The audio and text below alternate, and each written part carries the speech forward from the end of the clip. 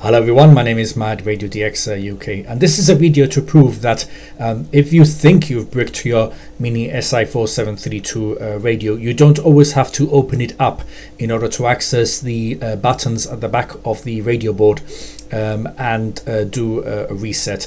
Um, what I recommend doing instead before you try to open up your radio is to uh, try reinstalling the uh, custom firmware for this uh, radio. Now what it is, the reason I'm, I'm doing this is because I'm seeing uh, a fair few comments on tutorial videos on how to install the custom firmware on the Mini SI4732 radio and some people are saying oh um, I bricked my radio it's useless I can't get it working again so on and so forth and I'm gonna have to open it up. Well like I said before you do right try reinstalling the firmware. The reason is because um, sometimes the tool that we have to use to install the custom uh, firmware the flash download to uh, flash download tool sometimes doesn't always uh, work properly. So what I uh, recommend is that if it's acting funny just exit the program and restart it like uh, restart it again.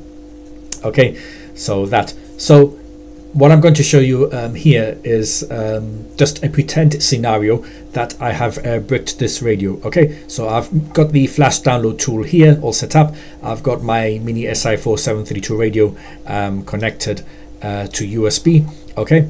And we're going to try and brick the radio. What I'm going to do first is I'm going to uh, erase the firmware on this so that we can do like I said a pretend scenario or bricking the radio. Let's click here erase okay and we should have a black display. There we go. All right so let's pretend that we've um, installed the uh, you know the new custom firmware um, you know on our um, SI4732 radio the mini radio right? And uh, yeah and you think oh everything's gone fine uh, so on and uh, so forth right? Okay so um, the screen on the top left has told us that the um, erasing process has finished okay? But let's pretend that our um, firmware flashing process has uh, finished. Okay so what we're going to do is what we usually do after finishing the firmware flashing process we disconnect the USB cable from the radio we switch it off. Okay you can see the switch there. Switch it off it's in off position. We're going to put it back on.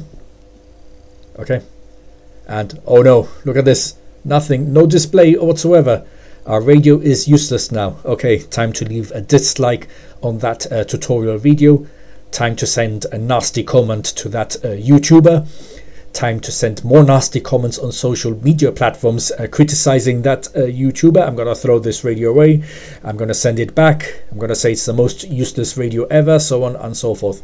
Calm down, take a break, okay, and then come back. And what we're going to do is we're going to try reinstalling the firmware again, okay. So what we're going to do is we're going to switch off our radio here again. Let's connect the USB again okay? And we're going to switch on our radio again right? Okay so see the light there the charging light that means it's connected by uh, USB okay so your radio is still fine. Yeah it just needs the firmware to be installed properly. Okay right. And over here on the right as you can see I've got the files ready to install on my um, mini SI4732 uh, radio. Okay and uh, what we're going to do is uh, we're going to do the installation process as we should right um, and uh, hopefully our radio will be working again. So everything all the uh, all the files I've got in order here bootloader partitions uh, the mini INO file also the alphanumerical values on the right here. Okay so let's begin. Let's press uh, start here. Okay? And as you can see here on the top left right um, it should be running okay. Right? The firmware flashing process yes. I can see the installation bar going there. And there we are. Look when the magic words is stub and, se and uh, send flash finish has appeared that means that the uh, flashing process has completed and hopefully successfully.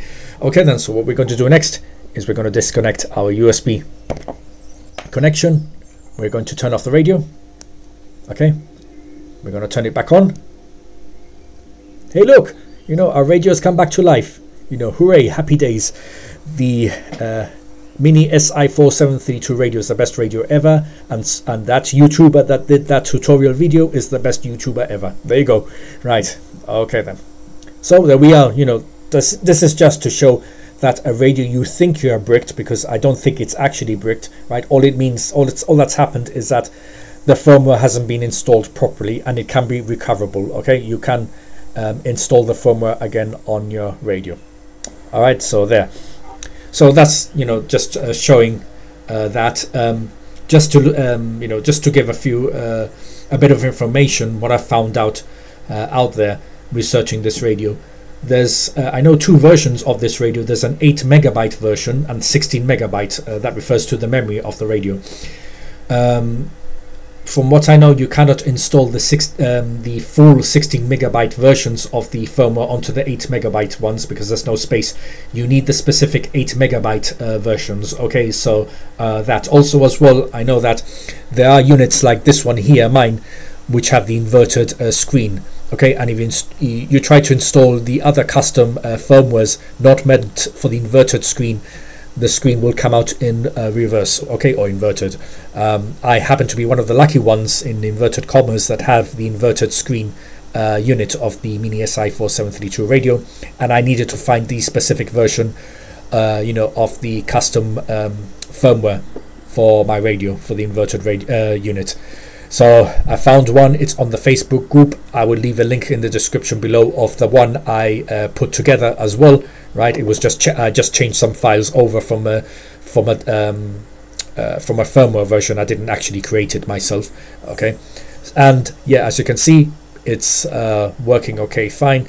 And yeah, and just that is just to let you be aware that not all these of these mini SI4 732 radios that are made are the same, right, in terms of the hardware itself, and nor would it be the same for the firmware that uh, you will want to install uh, on it. Okay, so just that. So uh, there we are. Hope you can get your radio uh, back to life without the need to uh, open it up.